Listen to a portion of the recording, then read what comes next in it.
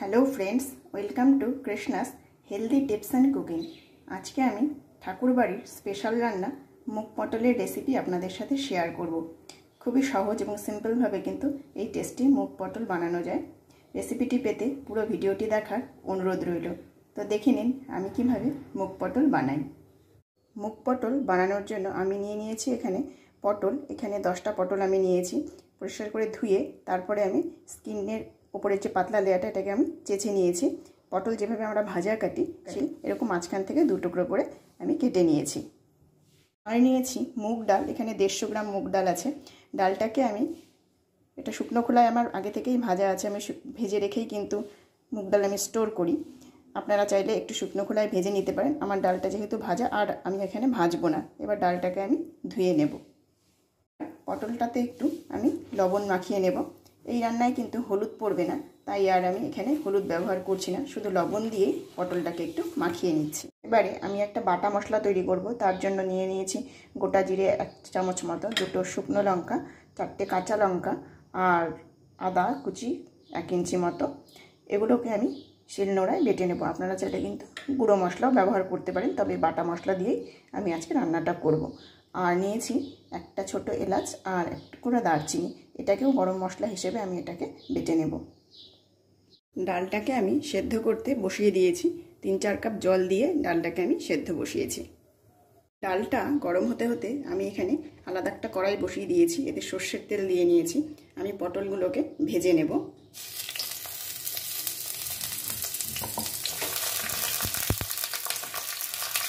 এদিকে ডালটাও আমার ফুটে উঠেছে এবং তার উপর দিয়ে কিন্তু একটা সাদা ফেনা তৈরি হয়েছে। এই ফেনাটাকে আমি তুলে ফেলে দেব।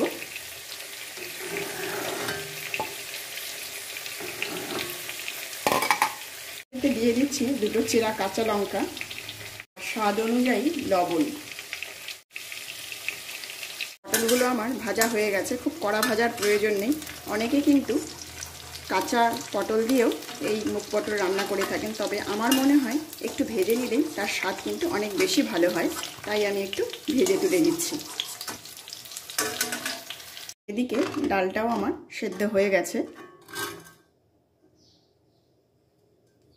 এবার আমি গ্যাসের ফ্লেম বন্ধ করে দিচ্ছি। পটলটাকে তুলে নিয়ে ওই কড়াইতেই আমি ডালটাকে ফোড়ন দেব। দিয়ে দিচ্ছি একটা শুকনো লঙ্কা, ফাটিয়ে আমি এর মধ্যে দিয়ে দিলাম। দিয়ে দিচ্ছি কটার চা চামচ গোটা জিরে। আর দিচ্ছি একটা তেজপাতা ফাটিয়ে আমি এর মধ্যে দিয়ে দিলাম। ফোড়নটা একটুখানি ভেজে নিয়ে এর মধ্যে আমি দিয়ে দিচ্ছি আদা, জিরে এবং কাঁচা লঙ্কা বাটা। আদা, জিরে, কাঁচা লঙ্কা বাটা আমি এখানে দু চামচ দিয়েছি। এবার এটাকে আমি ভালো করে একটু কষিয়ে নিচ্ছি। মশলাটার থেকে কাঁচা গন্ধটা চলে যাওয়া অবধি ভেজে নিলাম। এবার এতে আমি দিয়ে দিচ্ছি সেদ্ধ করে রাখা ডাল। ডালটাকে দিয়ে এবার এর মধ্যে ভেজে রাখা পটলগুলো আমি দিয়ে দিলাম।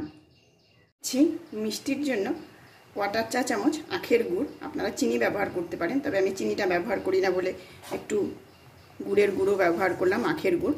আপনারা চিনি ব্যবহার করতে পারেন, আর মিষ্টিটা খেতে অপছন্দ করলে মিষ্টিটাকে বাদও দিতে পারেন, তবে নিরামিষ রান্নায় একটু মিষ্টি স্বাদ হলে কিন্তু খেতে ভালো লাগে। দিয়ে দিচ্ছি আর একটু লবণ। লবণটা ডাল সেদ্ধ করার সময়ও দেওয়া ছিল, একটু কম হবে বলে আমি একটু দিয়ে নিচ্ছি। লবণটা আপনারা বুঝে দেবেন। ডালে আমি কোনো হলুদ গুঁড়ো ব্যবহার করব না। ঠাকুর বাড়ির এই রান্নার স্পেশালিটি হচ্ছে এতে হলুদ না দেওয়া। এটা একটু ঘন মনে হচ্ছে, তাই আমি এতে একটু জল দিয়ে নিচ্ছি। গরম জল এখানে আমি ব্যবহার করলাম এক কাপ মতো। আপনারা যেমন পাতলা বা ঘন খেতে ডাল পছন্দ করেন, সেই অনুযায়ী জলটা দেবেন। মিনিট পাঁচেক ফ্লেমটাকে মিডিয়ামে রেখে ডালটাকে আমি একটু ফুটিয়ে নিলাম। আমার মুখ পটল একদম তৈরি। এবার আমি গ্যাসের ফ্লেম বন্ধ করে দিচ্ছি। এবার ওপর থেকে দিয়ে দিচ্ছি হাফ চামচ মতন ঘি। আর দিয়ে দিচ্ছি একটুখানি গরম মশলা বাটা, দারচিনি এবং এলাচ, এটাকে আমি বেটে নিয়েছি। ঘি গরম মশলাটাকে ডালের সাথে আমি মিশিয়ে নিচ্ছি। মুখ পটল আমার একদম তৈরি, আমি এটাকে পাঁচ মিনিট এভাবে ঢেকে রেখে দেব। তৈরি হয়ে গেছে। ঠাকুরবাড়ি স্পেশাল মুগ পটল। রেসিপিটি ভালো লাগলে লাইক শেয়ার ও কমেন্ট করতে ভুলবেন না। আরও নতুন নতুন ঠাকুরবাড়ি রান্নার রেসিপি পেতে আমার চ্যানেলটি অবশ্যই সাবস্ক্রাইব করে নেবেন। তাহলে যখনই আমি কোনো নতুন রেসিপি দেব, তার নোটিফিকেশান সবার আগে আপনার কাছে পৌঁছে যাবে। সবাই ভালো থাকবেন। ভিডিওটি পুরো দেখার জন্য সকলকে অসংখ্য ধন্যবাদ।